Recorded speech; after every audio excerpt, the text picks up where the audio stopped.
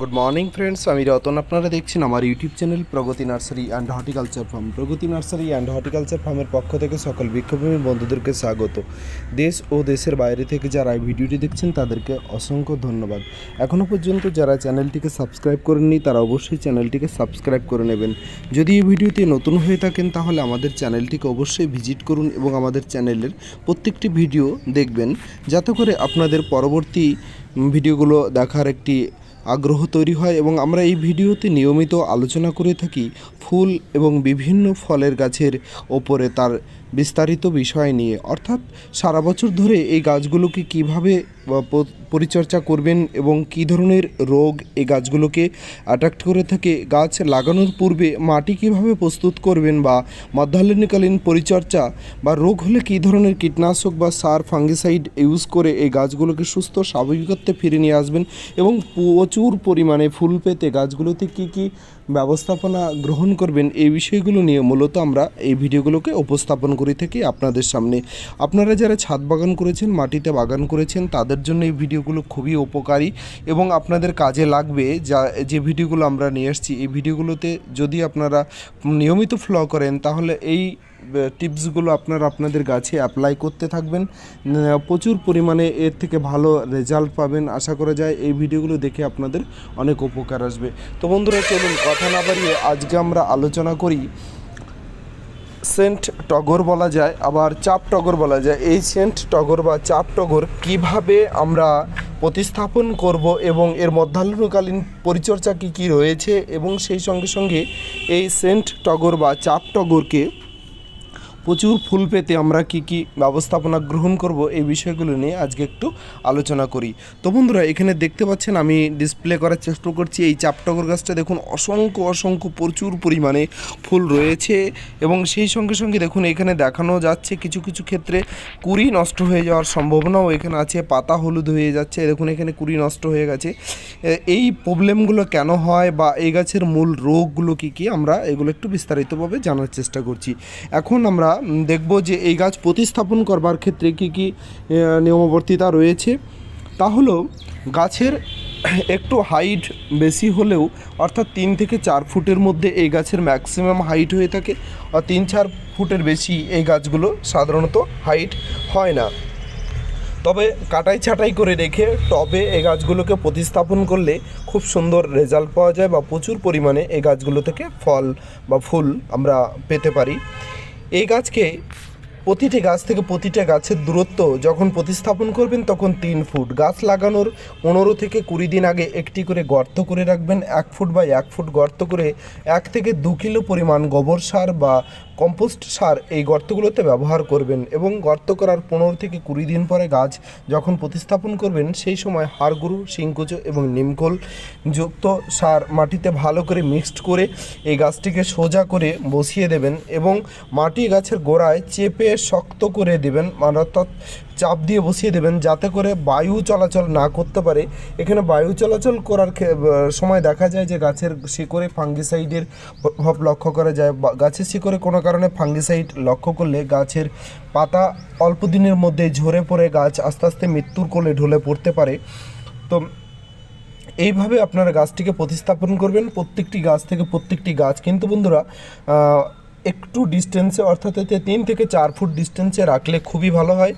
এবং সেই সঙ্গে সঙ্গে আমরা এই গাছের ট্রিটমেন্টস নিয়ে একটু আলোচনা করব যে, এই গাছটি একটু কাটিং করতে পারেন। বর্ষার শেষ দিক করে, অর্থাৎ বর্ষার শেষ দিক করে আশ্বিন কার্তিক মাস করে গাছটিকে কাটিং করলেন কিংবা বর্ষার শুরু একদম মানে শীতের শেষ দিক করে, অর্থাৎ ফাল্গুন মাসের মাঝামাঝি সময়ে এই গাছগুলোকে যদি কাটিং করা হয়, গাছের হাইট মেনটেন্স হবে এবং আপনারা এখানে দেখতে পাচ্ছেন যে এই গাছগুলোতে প্রচুর পরিমাণে ফুলের কুড়ি রয়েছে এবং আমি ফুলগুলো দেখানোর চেষ্টা করছি। যে ফুলগুলো দেখুন, কত, এই যে দেখুন, এই ফুলটি এখানে দুটি ফুল ফুটে আছে। কত বড় এবং কত সাইজ কি আছে? মানে এটা একটি গন্ধরাজ ফুলের মতন সাইজ হয়েছে এবং অসংখ্য অসংখ্য ফুলের কুড়ি রয়েছে। গাছটি দীর্ঘদিনের পুরনো। তাই দেখুন, গাছের কাণ্ডও কিন্তু যথেষ্ট মোটা হয়েছে। কাণ্ডের শাখা, প্রশাখা ভর্তি এরকমভাবে ফুল বিভিন্ন জায়গায় ছড়িয়ে ছিটিয়ে রয়েছে। আপনাদের এরকম একটি গাছ লাগালে নিত্য প্রয়োজনীয় যে পুজোর ফুল প্রয়োজন হয়, সেই চাহিদা কিন্তু অটোমেটিকভাবেই পূর্ণ করে দেবে এই গাছটি। তো কথা না বাড়িয়ে আমরা এ গাছের পরবর্তীকালে কী ধরনের ট্রিটমেন্টস রয়েছে, কী ধরনের পরিচর্যা রয়েছে সেই বিষয়গুলো নিয়ে আমরা একটু আলোচনা করব। এই গাছটি মূলত কয়েকটি বিষয়ের দিকে নজর দিলে এই গাছটিতে রোগ বা বিভিন্ন ধরনের উপদ্রব আসবেই না। যখন যেরকম এখানে দেখুন, বিভিন্ন কুড়ি মরা, মৃত অবস্থায় ঝুলন্তভাবে দেখা যাচ্ছে। এই কুড়িগুলো সাধারণত ফাঙ্গাসের আক্রমণ হয়েছে, প্রচণ্ড রোদে একে শুকনো ধসা বলা হয়। এই শুকনো ধসার অ্যাটাক্ট হয়েছে।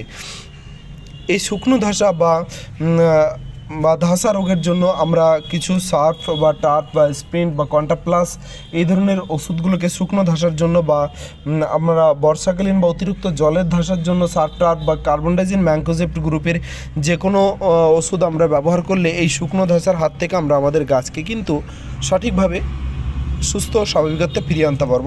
এবং এই গাছটির মূল একটি প্রবলেম হচ্ছে যখন বর্ষা শুরু হয় বা বর্ষার মাঝামাঝি সময় এই গাছটাতে প্রচুর পরিমাণে ল্যাদা পোকার উপদ্রব হয়।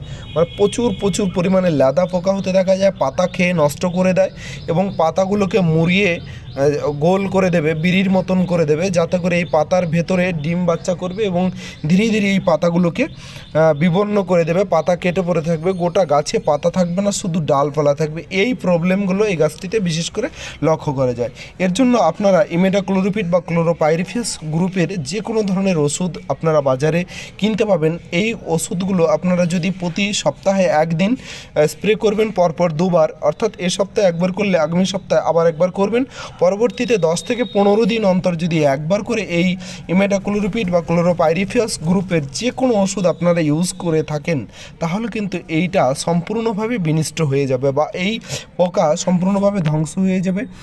কাটাই ছাটাই করবার পরে একবার যদি আপনারা সম্ভব হয়, তাহলে কিন্তু আপনার ফাঙ্গিসাইড স্প্রে করতে পারেন বা মাঝে মধ্যে এই গাছটিকে প্রচুর পরিমাণে ফুল পাওয়ার জন্য মিরাকোলানে স্প্রে করতে পারেন। মিরাকোলানে গাছের অত্যন্ত সুন্দর রেজাল্ট দেবে।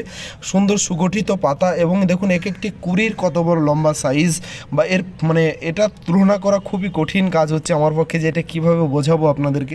যে এত সুন্দর বা এত থোকা থোকা কুড়ি মানে গাছটিকে অপূর্ব সুন্দর লাগছে যে আমি গাছটি দেখে মোহিত হয়ে গেছি যে একটি গাছে অসম্ভব এত ফুল কি করে সম্ভব হয়। মানে গাছটি আমি বিকেলবেলা তুলেছি, এই ক্যামেরাটি আমার বিকেলের দিকে ভিডিও ক্লিপ করা। তো যদিও সকালবেলা পুজোর জন্য ফুল সংগ্রহ করা হয়ে গেছে, এখন শুধু কুড়ি দেখাতে পারছি। না হলে এই যে কুড়িগুলো দেখছেন, এগুলো আগামীকালের জন্য প্রস্তুতি নিচ্ছে আগামীকাল এই কুড়িগুলো ফুটে রেডি হয়ে যাবে।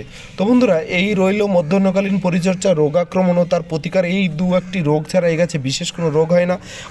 এক বছর বা দু বছর পরে যদি গাছে তেমন কোনো সার প্রয়োগ করার প্রয়োজন হয়, তাহলে গাছ প্রতি অর্থাৎ যদি এক বছরের গাছ হয় গাছ প্রতি দু চামচ করে ডিএপি এবং হচ্ছে এক চামচ করে পটাশ, এক চামচ করে সিঙ্গেল সুপার ফসফেট গাছ থেকে দু ফুট দূরে, অর্থাৎ এক, দেড় থেকে দু ফুট দূরে গাছ থেকে আপনি কিন্তু এটা ব্যবহার করতে পারেন। এই হচ্ছে মধ্যাহ্নকালীন পরিচর্যা বা ডাল ছাঁটাইয়ের আগে করলে একবার ভালো হয় এবং শেষ দিকে যদি এক মাস পরে ডাল ছাঁটাইয়ের এক মাস পরে যদি আরও একবার এই সারটিকে ব্যবহার করেন এবং বর্ষার শুরুতে একবার এই সারটি ব্যবহার করেন এবং বর্ষার শেষ দিকে এই সারটি আরও একবার ব্যবহার করবেন। দেখবেন গাছের কোনো রোগ হবে না বা গাছ থেকে প্রচুর পরিমাণে ফুল পাওয়া যাবে।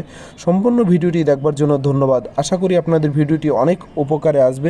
তো বন্ধুরা, ভালো থাকবেন, সুস্থ থাকবেন। আপনাদের প্রিয় গাছগুলিকে ভালো রাখবেন এবং এই চ্যানেলটিকে সাবস্ক্রাইব করে রাখবেন এবং ভালো লাগলে লাইক, শেয়ার ও কমেন্ট করবেন। ধন্যবাদ সম্পূর্ণ ভিডিওটি দেখবার জন্য ভালো